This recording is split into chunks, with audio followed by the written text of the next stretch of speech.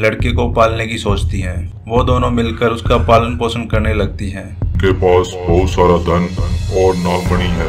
सारा धन तुम रख लेना और नागमणि मैं रख लूँ जैसे ही दोनों इच्छाधारी नागिन की गुफा के पास पहुँचते हैं सुंदर बन के घने जंगलों के बीच में एक गुफा थी। उस गुफा में दो नागिन बहनें आपस में मिलजुल कर रहती थी। वो दोनों नागिन बहनें इच्छाधारी नागिन थी। उनमें से एक का रंग सफ़ेद और एक का रंग हरा था। उन दोनों में आपस में बहुत प्यार था। गुफा में रहते हुए उन्हें बहुत साल हो गए थे। एक दिन सफ़ेद नागिन हरी नागिन को बोलती है अरे बहन सुनो हमें बहुत साल हो गए हैं गाँव में गए हुए। चलो ना गाँव में चलते हैं। हरी नागिन बोलती है हाँ हाँ बहन हमें बहुत साल हो गए हैं गाँव में गए हुए। चलो चलते हैं। हम दोनों इंसान का रूप धारण कर लेते हैं और चलते हैं।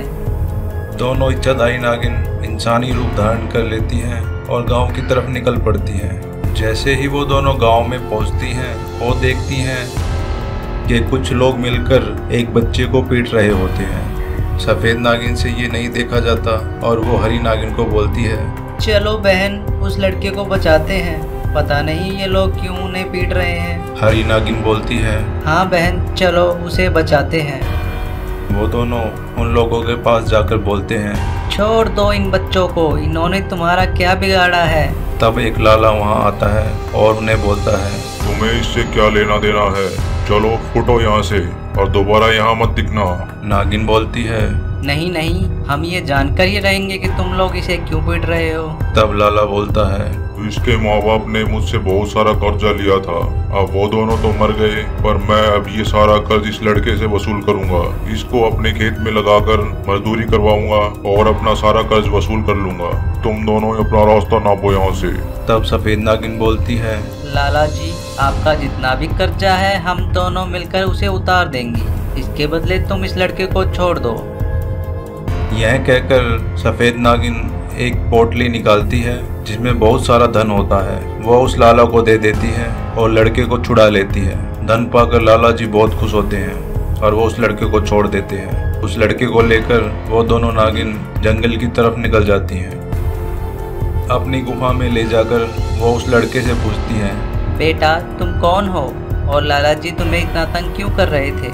लड़का बोलता है मैं एक गरीब किसान का लड़का हूँ। मेरे माँ बाप बहुत गरीब हैं। उन्होंने मुझे पढ़ाने लिखाने के लिए लाला जी से कर्ज लिया था। परंतु जब गाँव में बाढ़ आई तो मेरे माँ बाप डूब गए और डूब के मर गए। अब लाला मुझे उस पैसे के लिए अपने खेत में बंधुआ मजदूर की तरह काम करवाना चाहता था। इसलिए मैं वहाँ से भाग निकलने की कोशिश कर रहा था। लड़के की ये कहानी सुनकर दोनों नागिन बहनें लड़के को पालने की सोचती हैं।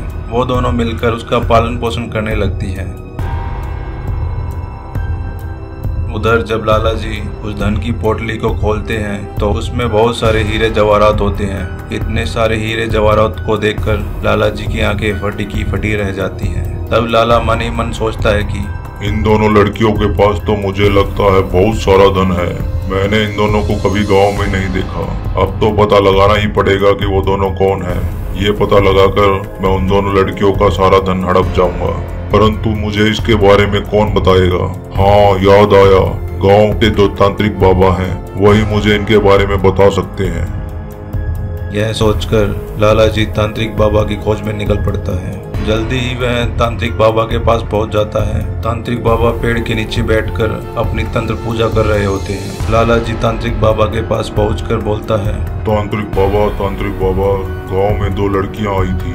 जिन्होंने मुझे एक धन की पोटली दी है जिसमें बहुत सारा धन है। मैंने उन्हें गाँव में कभी नहीं देखा। अब आप भी पता लगा कर बताइए कि वो दोनों कहाँ रहती हैं और हम उन तक कैसे पहुँच सकते हैं। तांत्रिक बाबा अपनी तंत्र शक्तियों से देख लेता है कि वो दोनों कोई साधारण मनुष्य नहीं है। वो दोनों इच्छाधारी नागिन है। तब वो लाला को बोलता है सुनो लाला जो दो लड़कियाँ तुम्हें मिली थी वो कोई साधारण लड़कियाँ नहीं थी। वो दोनों इच्छाधारी नागिन थी। उनके पास बहुत सारा धन और नागमणि है। हम दोनों उसे ढूंढते हैं। सारा धन तुम रख लेना और नागमणि मैं रख लूँगा। यह सोचकर दोनों जंगल की तरफ़ निकल पड़ते हैं। जैसे ही दोनों इच्छाधारी नागिन की गुफा के पास पहुँचते हैं, वो देखते हैं कि जिस लड़के को वो छुड़ा कर ले गई थी, वो उस गुफा के बाहर खेल रहा होता है। लाला जी और तांत्रिक दोनों उस लड़के को पकड़ लेते हैं और एक पिंजरे में कैद कर देते हैं। जैसे ही दोनों नागिनों को ये पता लगता है उस लड़के को लाला जी और तांत्रिक ने कैद कर लिया है तो वे उसे बचाने के लिए निकल पड़ती है। दोनों नागिन तांत्रिक को बोलती है हे दुष्ट तांत्रिक छोड़ दे इस लड़के को। इसने तेरा कुछ भी नहीं बिगाड़ा। तांत्रिक बोलता है हा हा हा हा हा अब तुम दोनों मेरे जाल में फंसी गई हो। इस लड़के ने तो मेरा कुछ नहीं बिगाड़ा परंतु मुझे वो नागमणि चाहिए जो तुम्हारे पास है। मुझे वो नागमणि दे दो और इस लड़के को ले जाओ। जब तुम मुझे ये नागमणि दे दोगी तो मैं इस लड़के को छोड़ दूँगा। उसकी ये बातें सुनकर इच्छाधारी नागिन अपनी नागमणि उस तांत्रिक को दे देती है। तांत्रिक नागमणि को पाकर बहुत खुश होता है। तांत्रिक के हाथ में नागमणि को देखकर लाला जी के मन में लालच आ जाता है। थोड़े ही समय में तांत्रिक और लाला के बीच में नागमणि को लेकर लड़ाई हो जाती है। जब वो दोनों नागमणि के लिए लड़ रहे होते हैं तभी इच्छाधारी नागिन अपनी शक्तियों का वार दोनों पर करती है। शक्तियों के वार से लाला जी और तांत्रिक वहीं मर जाते हैं।